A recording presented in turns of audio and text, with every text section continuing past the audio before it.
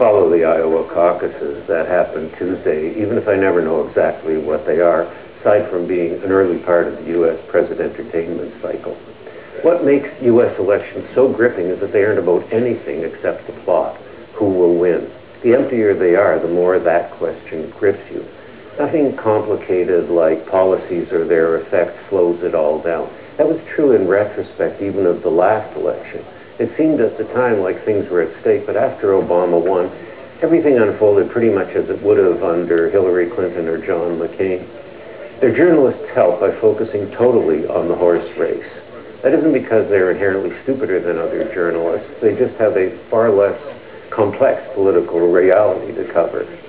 I watch it obsessively and always have, and I don't feel guilty. It's like gossip. Resistance is futile. Like uh, watching the OJ trial was, or Serendipity with John Cusack every Christmas.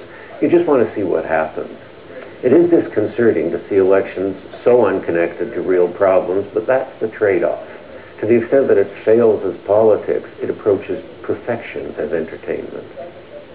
For the Star.com, I'm Rick Salutin.